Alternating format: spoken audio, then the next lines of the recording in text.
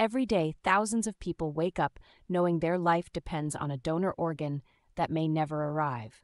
The organ shortage isn't a future problem, it's happening right now. And for the first time in history, science may have found a way through it. Over 100,000 Americans are waiting for an organ right now.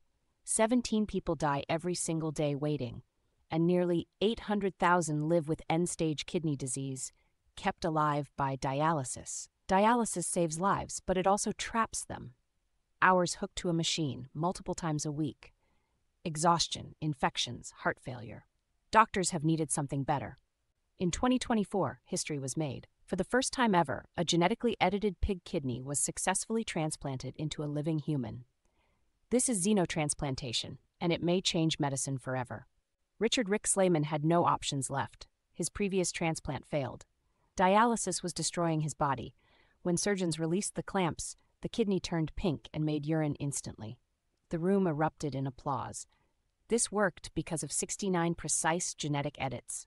Pig antigens removed, human genes added, viruses eliminated, the immune system finally outsmarted. In 2025, it worked again. Tim Andrews woke up dialysis free. He said, The cloud disappeared. I felt re energized. An unlimited organ supply could end waitlists, reduce health disparities, and restore life instead of merely sustaining it.